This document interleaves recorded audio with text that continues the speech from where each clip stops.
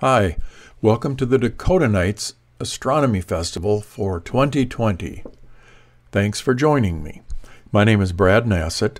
I'm a NASA Solar System Ambassador contracted through the Jet Propulsion Laboratory as an outreach volunteer. I do this sort of thing for fun, and my goal here is to show you some really interesting things about the planets. So let's get started. This is the solar system. The planets we can see right now in August of 2020 are Venus, Mars, Jupiter, and Saturn. The key thing when thinking about the planets is that all of them orbit the Sun in the same flat plane, like a big flat pancake. So, depending on where the planets are in their orbits relative to the Earth, we may see them in different places on different dates or not see them at all, as they might be on the other side of the sun or in front of the sun. Luckily, tonight we can see all four planets with ease. An interesting side note here is that around July 25th of this year, 2020, all of the planets were on the same side of the sun, so they could all be seen in the same night. You had to be pretty good and have pretty good telescopes, but it could be done. And this is a once or twice in a lifetime event. So some of my astronomy friends have been waiting for this date for years. In this graphic, it is August 2020 at 10 p.m. And we are looking south where we can see Jupiter and Saturn. Jupiter will be much brighter than the surrounding stars. You just can't miss it. Saturn appears a little smaller. If you extend your arm, Saturn will be about the width of your hand to the left of Jupiter. Saturn is quite easy to distinguish from the rest of the stars because it's a little bit brighter, and rather than looking like a straight white, pure star point of light, it looks like a small white disk. Jupiter appears to be in the constellation Sagittarius the Archer. Within the constellation Sagittarius, there is a shape like a teapot. A recognizable shape within an official constellation is called an asterism. The teapot's quite large, it's about the size of your open hand at arm's length. It's fun to see. It's a little hard to find, but once you do, boy, you'll recognize it anytime in the future easily. It is often said that the Milky Way is the steam from the teapot.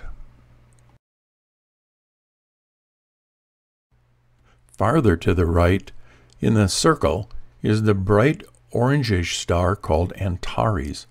It is the heart of the scorpion, the constellation Scorpius. If Antares were placed where our sun is, it would be larger than the orbit of the Earth, but, but that's a story for another day. As the Earth rotates, the stars appear to move westward across the sky, exactly what happens during the day with the sun. The sun doesn't move, but we actually spin away from it. Now watch Saturn and Jupiter as I advance the clock two hours.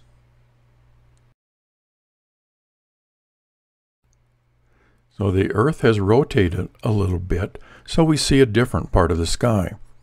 Mars comes into view above the eastern horizon somewhere around midnight.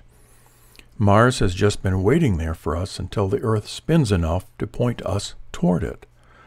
So Mars is a definite red-orange disk. You'll be able to see it easily. Sort of like looking at a big star. Now look at Mars as I advance the clock four more hours.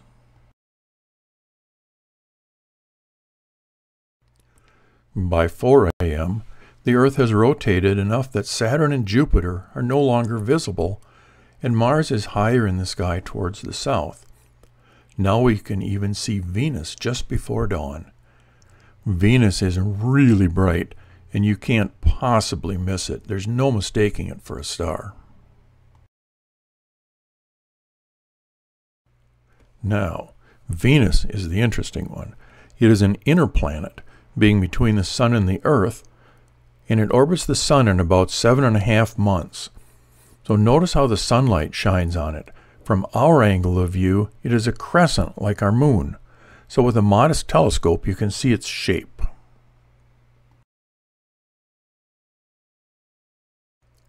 In this nice photo, we can see why Venus is called the morning star.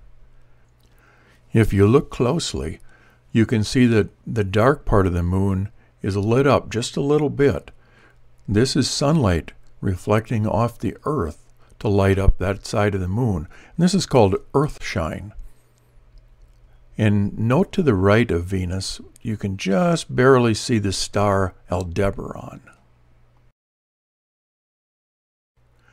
This view of Venus is from last April, a few months ago, from April 2020, before Venus had orbited to where we see it right now in July and August. As its orbit time is about seven and a half months, uh, back in April, it was on the other side of the sun from our viewpoint, so we actually saw it then as the evening star. Now let's talk about Mars. Mars is really easy to see for the next few months. The Earth goes around the Sun in one year, well, that's the definition of a year, and Mars takes about two Earth years for one orbit. Because the orbits are a bit oval, we are only close together every two years and two months. That's why any mission to Mars needs to lift off within a short, what's called a launch window, of about three weeks. In this year, 2020, it's three weeks approximately surrounding August 1st. That's it, so it can fly in sort of like merging traffic to get to Mars in its orbit. So if the launch doesn't happen within that launch window, we wait another two years and two months for the next opportunity to launch. Now think about this we see these two planets as being sort of close to each other tonight. Actually, they are really long ways away from each other in space, but our line of sight just allows us to see them as being relatively close together. Note that Saturn is so far out from the Sun that it takes 29 years to get around. Jupiter is closer, so it only takes about 12 Earth years to get around. So, what do you suppose will happen before long? Jupiter catching up? Now watch the planets to find out. Yep, so by December of this year, Saturn will have only progressed a little bit in its orbit, while Jupiter has gained ground. On December 20th, they will appear right next to each other from our line of sight. This is called a conjunction.